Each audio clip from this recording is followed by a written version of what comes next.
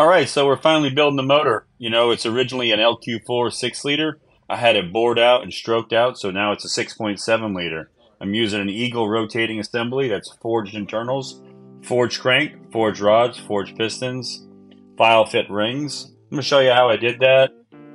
Mike had me clean every single little part as I put it in. Mike has been building engines for 20 years. He's an LS guru. And so here we're using the snap-on torque wrench, which is just amazing. And we Plastigage it. See the little mark there on the rings? I mean, on the bearings, you can see. So you have a little tool that tells you exactly how wide it is. That was about 25. Between 25 and 1 was 0.027 or something like that, which is well within specs, which is supposed to be 25 to 30. so you can see it's well within the spec. It was 0.25 mostly.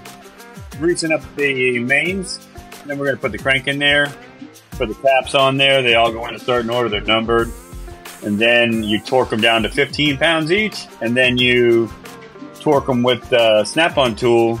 You go to, I think it was 80 degrees on the inner ones and 51 degrees on the outer ones. You have to check. It's it's motor dependent. Here we're we're uh, aligning and, and, and centering the uh, the thrust bearings there's a certain way to measure that a certain way. Mike's hitting it with a, a kind of like a rubber mallet, essentially, to kind of impact it and see.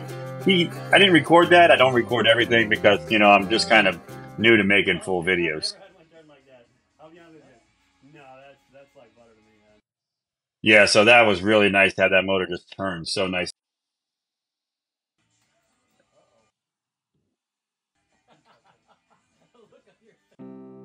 Yeah, Mike was messing me right there, acting like the motor wasn't turning right. He's a little joker.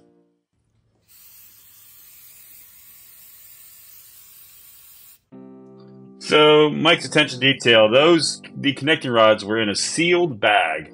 Okay, so I had to take those apart, take off the bolts, clean the bolts, clean the bolt holes, clean the wrist pins, put it all back together. And by the way, these wrist pins are held in by two C-clips on both sides. So four clips, you can see them right there. There's two on the top and two on the bottom because you kind of, you know, you stagger them.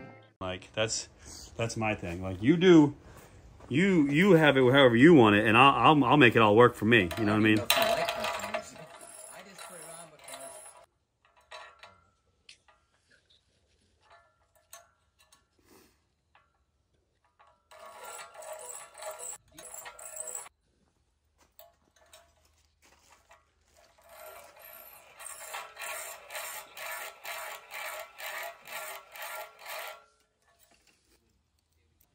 So on the first day, we had music playing, so I had to do voiceovers because I didn't realize that YouTube doesn't allow you to do that. So I had to kind of do a voiceover on that stuff. Plus, I thought it'd be cool to hear some of the stuff like where I was file fitting the rings. The rings on this kit, it's uh, 24, you know, 0.024, uh, 0.0024, sorry, for superchargers, turbochargers, for like basically a normal build and then for a race build, they recommend point point two oh oh two eight.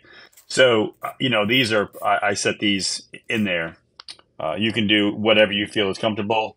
Uh, if you're going to be doing like high high horsepower, this gets rated to about 1200 horsepower. So I could go with 28 and boost up to 1200 horsepower. I could stay at 24 and do 750 or whatever. So now that I know how to do these, it's definitely easier. You know, the first one was a learning curve. You know, the first one I was like, God, this is going to take me forever. But now that I've done one, the second one was a lot faster. Now the third one's even way faster. You know what I mean?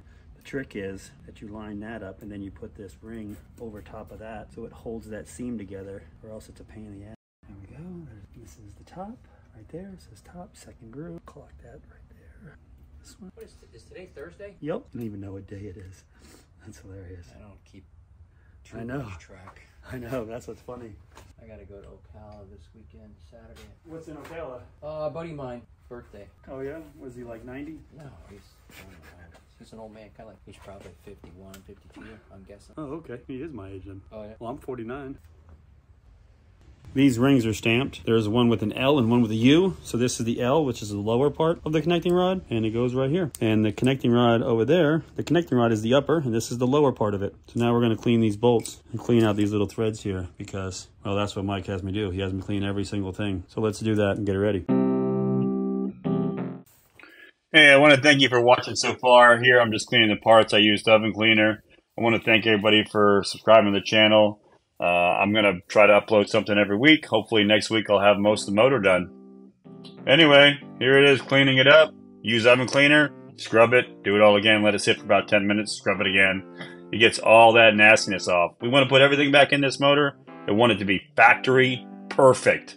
All this stuff nice and clean. So it's going to get painted on the outside, we want the inside as beautiful. Take your time, make it right. Wear a mask when you're on sub cleaners. This stuff is nasty. Makes me gag. Anyway, thanks again. Y'all have a great night. Appreciate it.